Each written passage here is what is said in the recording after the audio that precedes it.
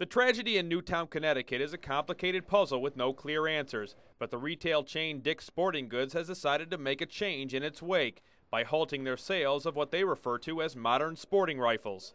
A weapon that they've chose to remove, I mean, I, I understand that one, and there's no need, I don't think, for a lot of us to own that kind of weapon. Historically, when tragedies like this occur, people flock to local gun stores to purchase weapons like this one for fear that laws will be passed preventing them from doing so in the future. But the local gun community says that's not the answer. We know that's going to happen, and, and the customers know it's going to happen, and that's why people are flocking to buy guns now. Teresa Cleland, owner of Cleland's Outdoor World, says there's a much greater issue at hand. There are mental illness out there that needs to be addressed.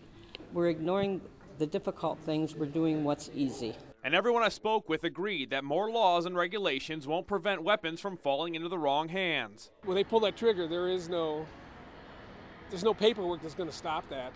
While a horrible deed like that in Newtown breaks the hearts of all who watch the events unfold, people look for someone to blame. Everyone knows it, but we also know that this is the answer that we're going to get from our government. And responsible gun owners are the ones who would feel the effects of new laws, while those breaking them will continue to find the means.